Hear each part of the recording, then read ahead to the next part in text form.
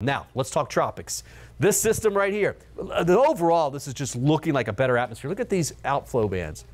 Basically, this thing's breathing. This is trying to move to the north and the west and develop. Will not affect us here in Tampa. That's the good news. But winds right now around 35 miles per hour. You see how this is all flowing away from the center.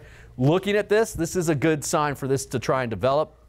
It looks like it wants to go to the west northwest. We're just now starting to get models on this. is Invest 91L. I think it ends up more something like this, just south maybe of the Texas border. But there's going to be a lot of moisture that's thrown into Texas all the way up through Houston as well over the next several days. Look at this. Here we this is where we are. This system way out east. Here's the Bahamas, right? That's about a 30% chance of developing. Right now, it's actually been trending further to the north. We don't think we get much out of this either way but maybe up towards South Carolina, maybe even Myrtle Beach. I want to show you the European model. There's Wednesday. There's the first system already trying to move into Brownsville, right? Look at the second system out here.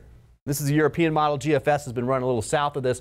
Either way, it's a much weaker system and it moves in towards the Carolinas by Thursday, Friday of this week. Initially, it was coming in towards Daytona Beach for us. We get a little, little bit of rain. Jacksonville will get more rain. They need it. I think that's going to dodge that area. Next week, Monday, Tuesday, Wednesday, we'll be watching the Gulf again. It's a pretty active pattern that we're in. So, tropic wise, no immediate threats, but something to watch.